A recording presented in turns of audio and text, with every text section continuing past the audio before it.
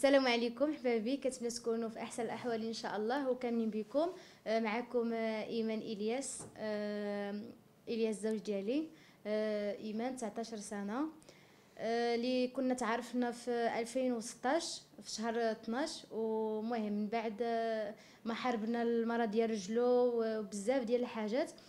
صافي في شهر 6 كان 2019 جا للدار ديالنا تقدم للدار ديالنا خطبني ومهم دازت آه، آه، بضع أشهر ودابا بان آه، بلي غيكون عندنا العرس إن شاء الله في شهر جوج في 15 لعيكم مشرفين على مجموعة ديال الناس اللي قالوا يدخلوا في هذا العرس. وغادي يكون إن شاء الله العرس في كازا 15 فبراير إن شاء الله يا ربي. وأي واحد كيحلم بان هو يعمل العرس ويكون هذاك مع ذلك حنا ما كانتش عندنا الفكرة العرس أن حنا نعملوا العرس مع المهم مداس شوية ضعيفه وهذاك الإنسان كيمشي على حساب جيمو الحمد لله جات الناس اللي تعمل لك العرس فقلنا نتوكلوا على الله. بلا غادي يكونوا حاضرين فنانه كبار و وإن شاء الله يا ربي كل شيء غادي يكون بخير وعلى خير وغادي يكون كل شيء في أحسن الأحوال. وكيف ما كتعرفوا الزوجة ديالي إيمان اللي ضحات وقصات معايا من طبيعه الحال من بعد الوالدين ديالي.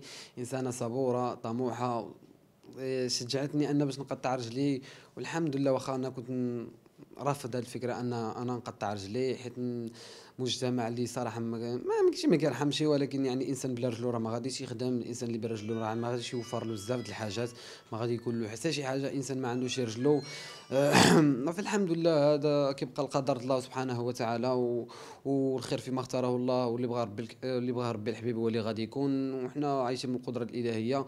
والحمد لله على كل شيء ونتمنى من الله كل شيء يجوز. بخير وعلى خير.